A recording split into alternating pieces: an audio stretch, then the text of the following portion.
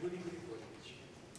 Я вот третий год, как вернулся в Санкт-Петербург, а до этого работал 33 или 35 лет в Москве. Значит, закончил я ЛИАП, значит, был начальником 6 главного управления Минродипрома и 20 лет был ректором Академии в Москве. Это Академия оборонных отраслей промышленности, потом она стала значит, вузом правительства Москвы.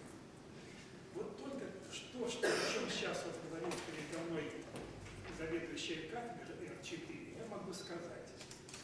В Санкт-Петербурге, как я приехал, я встретился с губернатором, со своим ректором, я еще заведующий базовой кафедрой в Гуарне.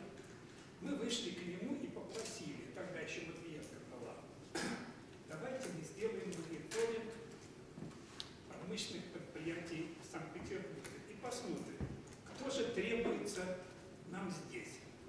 В Москве у Пантелея Евгения Алексеевича, это был министр промышленности и науки, а я был членом правительства Москвы и членом коллегии. Там была такая промышленная коллегия была, правительство Москвы.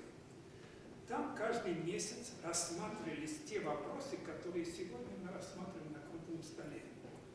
Мониторинг проводила моя академия, Академия оборонных отраслей промышленности. В Москве, значит, в ведении Пантелеева находилось более 300 предприятий оборонного комплекса и полторы тысячи промышленных предприятий.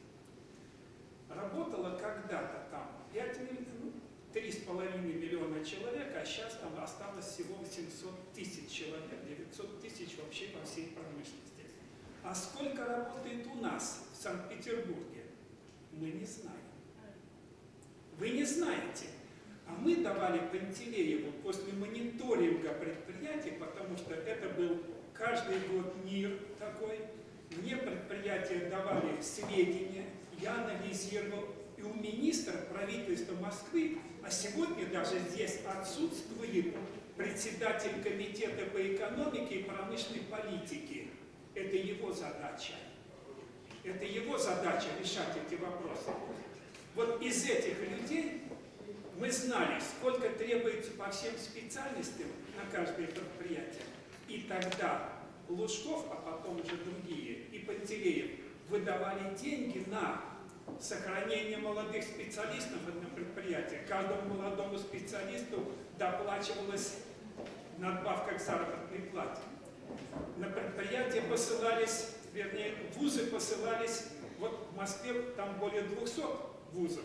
Здесь мы назвали с вами, значит, ну, около 100 вузов, там меньше, около 90.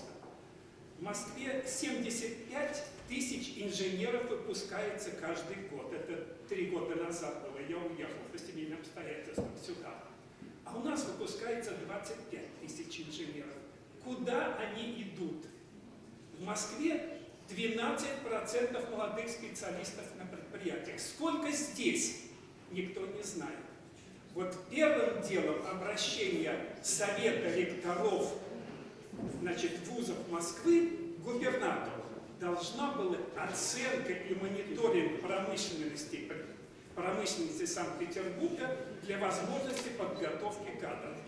Вот мою бытность Москва давала наполнение бюджета города Москвы 25%. Сейчас дает 8-10%. А сколько промышленные предприятия Санкт-Петербурга наполняют бюджет? Кто знает? Никто не знает.